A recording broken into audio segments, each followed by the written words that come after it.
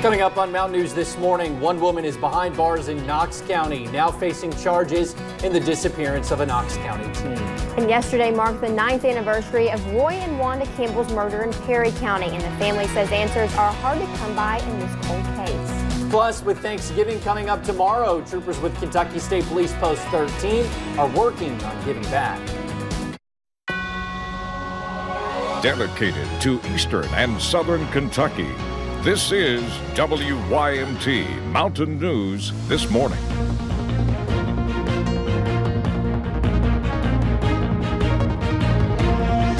Good morning. The time is 6:32 on November 27th. I'm Madison Pergram. And I'm Will Puckett. Thank you for tuning in to Mountain News this morning on this Wednesday. Wednesday before Thanksgiving, and I woke up this morning. It was raining. It's mm-hmm. kind of slowed down now, but Kind it's a dreary day. Yeah, a little bit Dreary. gross start to the day, but Brandon says that there is good news on the horizon. Speaking So- of Brandon, let's go to Brandon. Brandon, what do, we're going to see some hope by the end of the day. Oh, yeah. I think it'll be a much brighter end of this tunnel as we get deeper into the afternoon. But this morning, dreary conditions will continue for a while, and then the skies clear out quickly by the afternoon.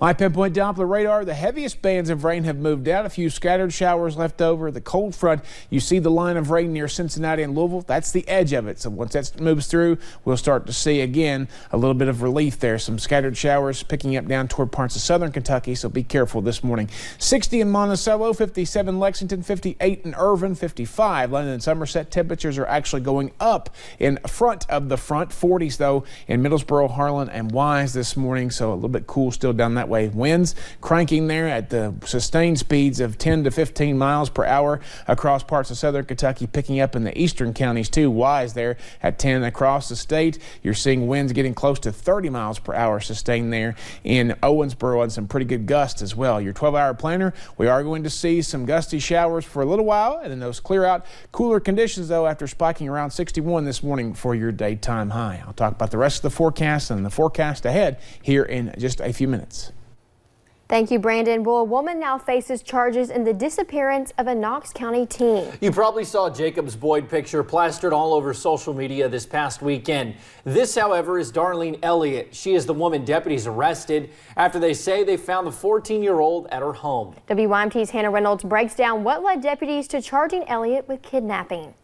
A concerned phone call set police on a search Saturday. Everything we gathered that he was a, a good young man and uh, this was kind of out of character for him and so we you know obviously very concerned Because 14 year old Jacob Boyd went missing. He was supposed to be walking from his home here to Central Elementary School to play basketball. The distance between the two, less than one mile. But it was more than 25 minutes away where the search ended at this home on Skinner Lane in Corbin. come to find out after we'd received a tip um, he had uh, had a girlfriend that stayed at that residence Knox County sheriffs say they found him in the basement.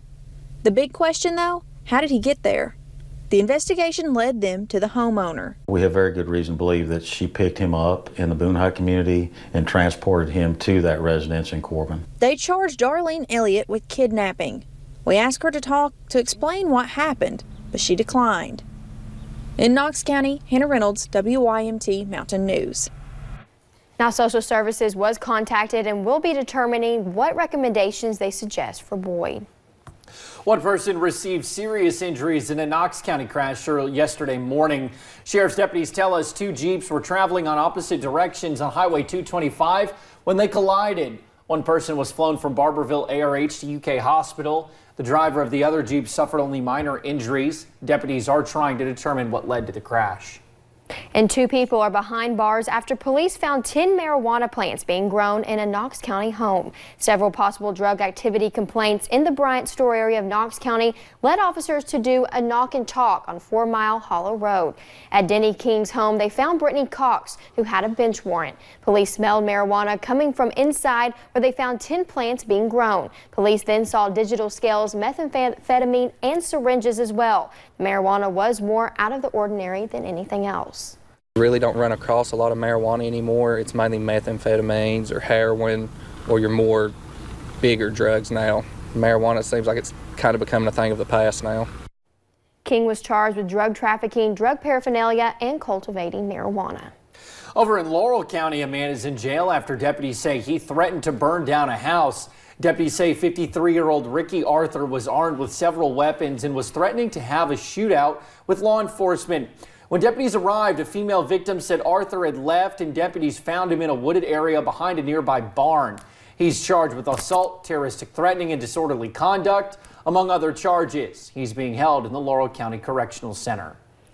And yesterday marked nine years since Wanda and Roy Campbell were shot and killed in their Perry County home. Though time has passed, the burden still remains for many of their friends and family. But the pain has not eased for Wanda's daughter, Shirley Justin, who still continues to pray for answers nine years later. I'll never totally lose my hope. Um, I, I do get pretty down sometimes and get close to it, but you know, there's something in me that says, no, no, there's still hope. There's still hope. Shirley asked if anyone has the smallest amount of information about this double murder to please contact Kentucky State Police Post 13 at 606 435 6069. Two University of Louisville students are shaken up after an accidental shooting at their on-campus apartment complex. The bullet came into their apartment from the unit below. Thankfully, no one was hurt. University's dean says the suspect, who is a student, was cleaning his gun when a round went off. That gun has since been removed from him, and he's since been removed from campus housing and is facing discipline, which could be expulsion.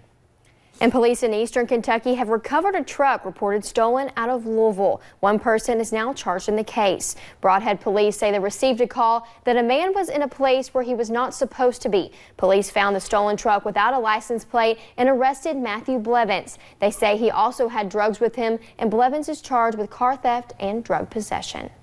Well, with Thanksgiving tomorrow, troopers with Kentucky State Police Post 13 are working to give back. Their fourth year, for their fourth year, they have teamed up with Food City in Whitesburg to put together boxes to take to schools in four of their five counties. The meals are about $40 a piece and will help bring food to families who may otherwise not have a Thanksgiving dinner. It's special holidays are a special time, so it's just a, a very uh, fulfilling and um, just uh, just a positive time for us all. In their fifth county, they team up with the community outreach program to get food to those families in need. And Sonny's Barbecue has restaurants all across many southern states, and they are giving away $10,000 to a nonprofit organization. One of the finalists for the money is with Love from Harlan. Over the past two years, they have helped countless people in need. WYMT's Emily Bennett talked to With Love from Harlan about the impact they could make with this money. An organization that jumps into action whenever they are needed. It was kind of overwhelming because there were so many people affected and, you know, so many people that needed help. And we just couldn't do it all. This summer, With Love from Harlan was once again thrown into the spotlight, helping the Blackjewel miners while they were blockading the railroad tracks. I still have people message the page that say, hey, your name has come up a lot during the Blackjewel thing. And uh, an article and we want to know more about your organization. Receiving national recognition. We got probably another 500 likes or more just from all that went on with Blackjewel. And now they are back in the spotlight as one of the five finalists for Sonny's Barbecue's Spirit of Barbecue Giving Tuesday edition. It's totally crazy. I mean, I, we're so small. We think we're small. We're small. Um, but we, we try to do big words. Voting opened on Monday, and they already have more than 3,000 votes. After an hour, we had 500 likes. The winner receives $10,000, and Leslie Bledsoe already has her eye on the money. It's going to be ours. We're going to claim that, and uh, we're just going to put it back into the community wherever it's needed most. Just wanting to help those who need it most. In Harlan, Emily Bennett, WYMT Mountain News. Now to vote, you can go to Sonny Barbecue's Facebook page and like the photo of your choice. We also have a link on our website at WYMT.com.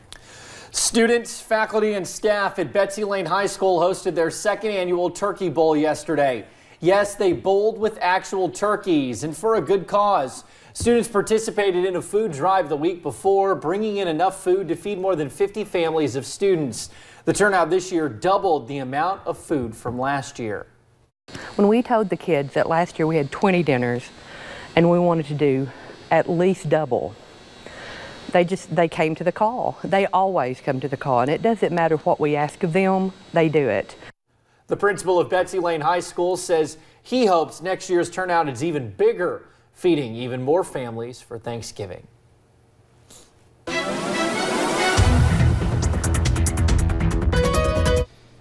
Awesome event over there at Betsy Lane. Been over there to visit a few times. Great schools, great schools across the mountains doing great things right now across the area. Right now we're seeing the rain coming down, but it started to slack off a little bit, just a little bit here. But watch out here on the satellite back toward Louisville.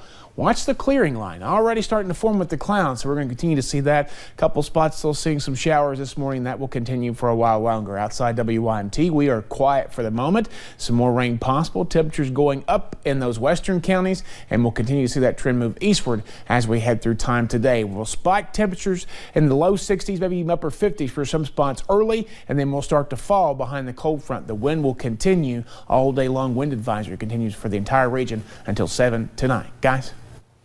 Thank you, Brandon, and thank you for joining us on Mountain News this morning. Coming up, we'll have a pet in our studio that's looking for a good home.